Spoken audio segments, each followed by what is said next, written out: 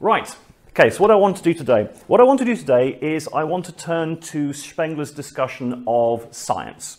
Um, science plays a significant part in Spengler's work, particularly his early work, uh, which is what I will be focusing on. Um, I want to give you the key features of his views of science, which I think are quite peculiar, uh, quite, quite unique um, to, to Spengler, and also which I would argue precede uh, major developments in the philosophy of science in the mid and late 20th century. Having sketched out Spengler's views on science, I then want to move on to compare his work with that of another German philosopher, Hans Vaihinger. And I want to make the argument that we should view Spengler in his views on science as a fictionalist. Yeah, I, I will clarify what all these things mean as I go along. Um, and then I will suggest that once you accept, or if you accept my argument that Spengler is a fictionalist, it offers us a different way of reading his historical corpus. That, that's, that's the grand plan. Right, so what I have here on the wall is what I hope is a not terribly contentious uh, outline of the key features of um, Spengler's thought. Certainly, um, I, have established this by looking at a variety of secondary commentaries on Spengler, and even the most virulent opponents, um, in terms of interpretation, I think would agree upon these key features that he has a cyclical model. Uh, he talks about cultural organisms. Uh, he talks about destiny as kind of a driving force of historical uh, change. He has a cultural isolation theory, so that each culture is someone's described it as like, like, a, like a monad, completely self-contained, um, and also that history um, has no particular meaning. There is no grand plan, yeah? That, that the hand of God is not revealed with the passage of historical time. Righty-ho. So, on to Spengler's philosophy of science. Now, philosophy of science, sorry, science in general for Spengler is very, very important. And if you want evidence for this, I will just put it to you, and I'm not being original here, I'm quoting from Domenico Conte in his, his introduction to, to Spengler. He says, look, how does Spengler introduce his eyes thought in Decline of the West? He starts with mathematics. How does he end Decline of the West, Volume 1? With physics. He bookends his entire narrative with science. Doesn't that suggest its importance in his thought? And if you read through um, the decline, particularly volume one, constant references back to science all the way through. So science was clearly important to Spengler. Spengler himself kept abreast of the latest developments in modern science at that time, which was going through radical changes uh, in, in the Weimar period. So um, I think a, a, reason why people tend not to look at Spengler's science um, is because they think it's going to basically be the application of his philosophy of history to science. Yeah? So every culture has an Ur symbol, that shapes every other form of cultural expression. Um, each culture is cut off from another culture, and that's what his science is going to be as well. Yeah? Um, well, is, no, to give you a, a kind of clear philosophical position, it is and it isn't. I shall explain why. Right, so key features of Spengler's philosophy of science. He says each culture has its own science.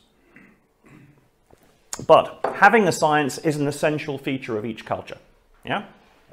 He says that every science theory is necessarily preceded by techniques. Technique. You always get technology before you get science. This is a view which has been accepted in the philosophy of technology only in recent years, that technology precedes science.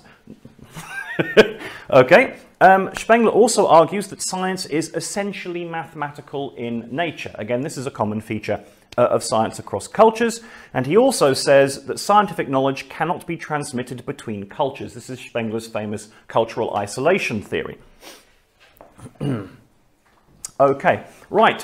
However, um, Spengler does say there are certain peculiarities of Faustian science. It was one of Gilbert Merlio's criticisms of Spengler on science that because Spengler has this one-size-fits-all model of cultures and sciences that he can't do justice to the uniqueness of Western science. Whereas I don't think, I, I, I dislike disagreeing with Merlio, but I, I, don't think he's quite right on that one. Because I think that Spengler is quite clear in his early work that there is something unique about Faustian science. So there are structural similarities, but Faustian is different from all the other ones, and the reason for this is because the Faustian Ur symbol is unique. Now, if you think about the Ur symbols, most of the Ur symbols for cultures are static. Yeah, but the Russian one of the endless plane or what have you. The Faustian Ur symbol is dynamic. It embodies a concept of motion. Now, you might say, all right, but don't the um, the Chinese Ur symbol and the Egyptian Ur symbol also have a concept of motion? Well, yes, they do, but here's the big difference. The difference is that it's a movement between two points. Yeah, the destination is set when you start start in motion along the Egyptian Ur symbol or with the um, um, or with the other one I mentioned, I've just forgotten. Whereas the Faustian one has no destination. It is infinite movement across infinite space at all points at once the very point of the Ur symbol, which, which defines all cultural activity for um, Faustian study, is endlessly dynamic without a resting point. That's what's unique about it, and that's what shapes its science, I will suggest. Okay, so what of this in practice? Well, I don't have time to go into uh, Spengler's philosophy of science in detail, unfortunately, um, but he comes up with a series of fascinating concepts which precede um, their, their popularization in the 60s and 70s um, in the philosophy of science. Spengler, for example, argues for the theory-ladenness of observation. He says that you cannot have neutral observations of scientific practice or phenomena or anything. They are always colored by what, what we now call the paradigm, the scientific paradigm that you happen to hold. he argues for incommensurability. It is simply the case that people speaking science from different cultural paradigms are, are, are incapable of communicating. There is a barrier between the two. He um, erases the distinction between context of discovery and context of justification by focusing rigorously on the notion of scientific practice in his account of how science works. they have to bear in mind that Spengler's writing this at the same time logical positivism is starting off, which rigorously enforces, well, there's, there's the history of what scientists did and there's the, there's the pure epistemological theory of what they do. And Spengler happily blurs this in a way that didn't become popularized until later on with people like Kuhn and Bachelard and so on and so forth. he comes up with an idea of what um, Collingwood would call absolute, absolute presuppositions, or what Wittgenstein, who was influenced by Spengler, would call hinge presuppositions. The idea that the basis of every single science are concepts that you cannot question. You have to have these concepts to function. Yeah? You can't pick at them or the whole house of cards falls over. And he also, when he explains about the development of modern science, changes in scientific theory, he appeals to external as well as internal factors. He talks about the consequences of the professionalization of German science, the transition from individual inventors to mass industrial processes, and he accounts for all of this in his philosophy of science. Again, which, which precedes developments in the philosophy of science uh, by, by a number of decades. Right, what do we want to take away from all of this? What's particularly important is that for Spengler, all scientific theory, without exception, has an irreducible metaphysical component derived from the Ur symbol of a culture. Yeah? In many ways, science for each culture is the purest expression of the Ur symbol because what a science is in its birth in theory is the inhabitant of a culture reflecting upon their own cultural mandates given by the Ur symbol. Consequently, I will suggest all scientific theory for Spengler is fictional. It does not track objective reality. It is not a grasp on the real, it is a subjective expression of the worldview given to a culture by the Ur symbol. Okay. now, why, why did I start thinking about this? Um, I, was reading um, Merlio one time. I think it was a paper of his in Spengler heute, and he just throws out this one line, if I can get to it, uh, where he says, oh yeah, look, um, obviously Spengler is a Vaihingerian fictionalist and then moves on. He just does nothing with it. He just threw it away. Now, at the same time, I just relieve, uh, received my copy of um, Ich beneide um, again by Merlio, which had just come out, and I was reading this particular passage. And it kind of got me thinking that, that maybe fictionalism was one way of trying to understand what, what Spengler was up to. okay, so what is fictionalism? Um, fictionalism is a philosophy of science that basically says you can't ever really know the fundamental, fundamental nature of a reality. All we can ever know are systems of thought that we have constructed ourselves. Now, obviously, um, we assume that our fictions are successful because they correspond to reality, but we don't know that. You can't help yourself to that kind of knowledge. Now, there are two different kinds of fictionalism. There's what you might call eliminative fictionalism, like the uh, Vienna Circle practiced. Yeah? Find a fiction, it's a fiction, fictions are bad, kill the fiction. Only the empirical must survive. And then you have people like Vaihinger who go, hey, we need fictions, they're useful. Don't be frightened of fictions, just run with the fictions. How am I doing for time? Well. Oh, sweet. Okay, right. yes, okay, so um, this is the Merlio quote I was talking about. As a student of Hans Vaihinger, Spengler asserted that any theory or any science is merely a more or less fruitful fiction. Okay, um, so I got thinking about this, um, and then I began researching um, Vaihinger, and what I discovered that I thought was quite interesting is when you trawl through most of the biographies of Spengler, they'll tell you he was here, he was there, he met these people. I knew he'd got the, the, some kind of prize at the same time that Vaihinger had got one. I hadn't realized that he'd been at university when, when Vaihinger was there. Um, and then what I actually engaged with, um, after reading the Merlio comment, um, uh, Vaihinger's great work, The Philosophy of As If, the similarities between his work and Spengler became just ridiculously, uh, ridiculously striking. Let me try and explain in more detail. Right, okay.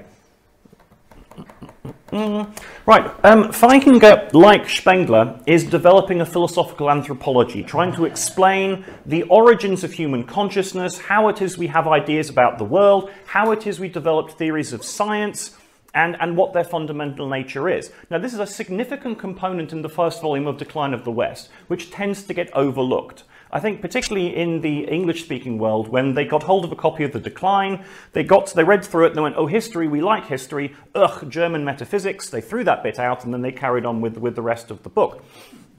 If you read the metaphysical bit, which for me is the important bit, um, you, you have this fascinating worldview from the very bottom up that Spengler provides for everyone. so what I want to do here is kind of uh, compare Vaihinger and Spengler's um, uh, views on the origins of consciousness and the nature of science. Why? Two reasons. One, if Spengler does correspond closely, which I argue he does, to Vaihinger, and Vaihinger, we would all agree, I hope, is a card-carrying fictionalist, yeah, then that suggests that Spengler himself is a fictionist. Second possibility which I want to float is that there probably is a direct influence of one upon the other, but that's less important. So, both Vaihinger and Spengler um, offer a philosophical anthropological account of the formation of human consciousness. According to both thinkers, early humans find themselves in the world surrounded by a, a welter, a chaos of sense impressions, which provoke a kind of primal fear in us. In response to that fear, to enable the organism to function and survive, consciousness is developed. And it's usually based by fundamental dualities. So an inner and an outer. Yeah? Um, noumena phenomena. Us and them. It's, it's, it's always in a binary. But it's a construct. It's not natural to human beings. And likewise, reason for both um, Vaihinger and for Spengler is not an innate feature of human beings. It is something we have organisms, us organisms have adapted. We have developed for its practical utility. God did not give us reason. We are not born with reason. We do not use reason for truth. We evolved reason. We adapted reason to become more successful organisms. it's a biological response to sensory data. And we have it not because it's true, but because it's useful. Okay. Right. so where do we go from here? Um, Vaihinger and Spengler both have a rather peculiar notion of what understanding means. For both of them, um, consciousness and rationality are a series of what you might call ideational structures, to use, uh, to use Vaihinger's term. And these things are subjectively created. They are not, they're not given us by the world, they're things we develop out of ourselves. So when we say we understand something, what that actually means, according to Vaihinger and Spengler too, I would suggest, is that by using analogy, we subsume some new sense data under an ideational structure that we already have. Yeah? And this is what understanding is. Now, this, uh, Vaihinger is explicit on this, this is the way understanding works. I think this explains Spengler, and I particularly think this explains the cultural isolation theory. Why is it that Spengler tells us that the, the inhabitant of one culture can never understand the inhabitant of another culture? There seems to be no obvious reason for it. And then he gives examples of pseudomorph pseudomorphosis and things which seem to suggest there were some levels of cultural understanding. Well, if his notion of understanding follows Vaihinger's, it's because to understand something is to suck it up and slot it into my ideational structure, thereby transforming it. So what I then understand, I have actually created, I have transformed, I have adapted to my own worldview. So whilst it might seem that intercultural communication is taking place, all I'm doing is picking up ciphers, symbols, giving them my own meaning from my own ideational structure, mm. and then absorbing them. Yeah. A further point, if this is the way understanding operates in Vaihinger and Spengler, is that understanding is always subjective, because what we do, we achieve sense data and we give it meaning by linking it by analogy to a structure, an internal structure, which we've already invented ourselves or absorbed from our culture. At no point in time does objective reality make an appearance in this picture, giving any particular meaning to, to, the, to the thing understood or the system of understanding in the first place. Yeah? Human beings, human cultures are in an endless loop of their own subjectivity, which in Spengler's case is structured by the Ur symbol, uh, which operates as a, as a kind of uh, a, Kantian intuition for, uh, for, for Spengler anyway. Okay, further implications. For both Vaihinger and Spengler, and they are explicit on this, all science is fictional for obvious reasons now. If all understanding is, is fictional, then science is kind of the, the, the, ultimate form of understanding is also going to be fictional. And this includes mathematics. Now, it's a common feature now, if you read um, relativist philosophers of science, they'll say, yes, all biology is relative, and yes, all physics is relative, oh, not mathematics. Mathematics is real, yeah? Suddenly I'm a Platonist. When I, was, I had to work out what time it was, I, I became a Platonist again, and numbers are real things out there in the universe. Vaihinger and Spengler are absolutely adamant on this point. Mathematics is fictional. And for Spengler, this is particularly important because what Spengler says is when primitive humanity is there facing the world and all this raw sense data and struggles to develop ideational structures to cope, yeah, number. Number is the ultimate weapon against the chaos and disorder of reality. Yeah? You number things, you enumerate them, you put boundaries around them, and then you name them, and that gives you control. So for Spengler, in particular, mathematics is always metaphysical.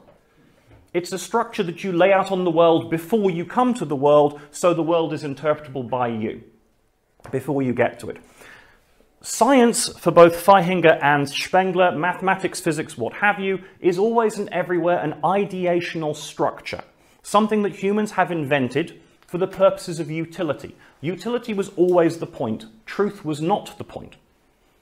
Truth itself is an extremely useful series of fictions that allow us to survive, propagate the species, navigate the world, and, and, and live in a moderately comfortable way. Now, so what is the big question um, here? How am I doing for time? Uh, Sweet.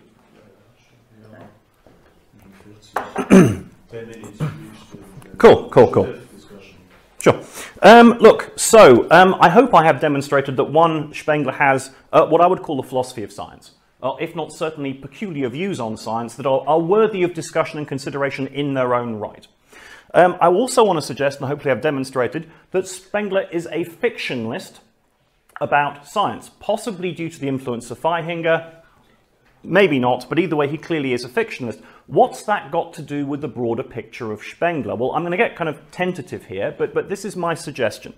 If you look at the secondary commentary on Spengler, um, it's, there is a continuous debate going on in Spengler scholarship about how to understand Spengler's historical claims.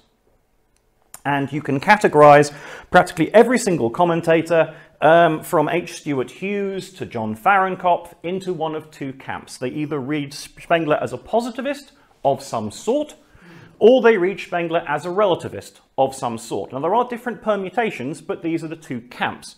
What do I mean by this?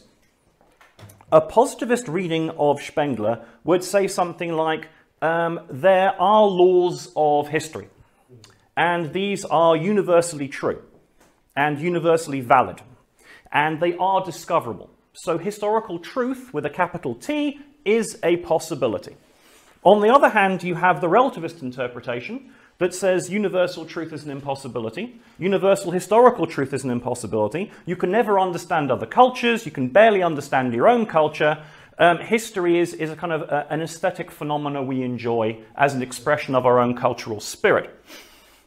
and, and these two camps uh, are, are, kind of locked in, a, in, an endless conflict. And the reason I suggest why neither side has been able to um, secure the dominance of its interpretation is that both these elements are present in Spengler's thought, such that it's not possible to just explain away the recalcitrant data, because it clearly is the case that Spengler sometimes does talk about universal laws, and does talk as if there's a possibility of, of, of historical truth with a capital T. And it is the case that we can program in a scientific way the path of future civilization will travel that, so against the relativist, there's always the, the rump of the positivist Spengler, I think mainly in chapter 3 of volume 1, that you just can't seem to get rid of. Yeah? But then, of course, to the positivist, they have to explain away lots of statements like, well, you know, we can never understand different cultures, um, everything is perspectival, um, look, you know, hell, we don't we see things differently in different cultures. We even see things differently in different cultures depending how old the culture is. So even within a culture, you have variation in perspective between its youth and its senescence. So the, the positivist can't explain away this vast amount of relativist content in Spengler either. So what do I suggest we do about it? Well, what you could do, option one, is to excise the bits you don't like. Yeah? If you're a relativist, chop out the positivist bits. If you're a positivist, chop out the relativist bits. But the problem is this does violence to Spengler's theory. And I ask you to imagine um, imagine the, the, popular understanding of Spengler, which is usually based just upon the decline of the West. Imagine it for a second. And then imagine you've hacked at all the bits about universal laws and recurrent cycles. Would that be Spengler anymore? I would suggest no. Or if you're on a relativist, uh, sorry, a positivist strand and you hack out all the relativist content about the impossibility of cultural communication, uh, about, about the singularity and the all-purpose of the Ur symbol, which, which gives you a world and locks you in that world. Would that be Spengler? No. So cutting either of them out doesn't work. Now, of course, there is then the historian's response. Because I'm a philosopher. I want consistency. I want Spengler to make sense. I want to believe that when Spengler sat down to write his magnum opus he'd been planning for years, that he knew what the hell he was doing. then just go, I'm feeling positivist today. No, I'm feeling red. Oh, I'm so changeable and sensitive. I don't want that to be the case. Now, Possibly. Um, now, the historian's response to this sort of thing is to go, look, Spengler was a person, people are complicated, sometimes they just write bad books. Deal with it. You're trying to bring order, there was no order, he was just a bad writer. Yeah, that, that here we go. I, I dislike that theory as well, for obvious reasons. It seems to me if you accept my argument that Spengler was a fictionalist about science, it raises the possibility that he was a fictionalist about everything else as well. Yeah? Now, if Spengler was a fictionalist, then it seems to me we have a possible way, and this is just a suggestion now at the end, of resolving the apparent contradiction. Because if Spengler is a fictionalist, then what you would have in Decline of the West aren't, isn't a contradictory theory, it's two separate theories, one of which he actually believed to be an accurate account of the nature of the world, and the other one was a fiction designed to serve a certain purpose, perhaps in persuading the public, perhaps in winning scientific credibility, or what have you. But it seems to me it holds out a possibility of resolving the contradiction without having to lobotomize Spengler in some way by removing the content we don't like. And I think I will stop there.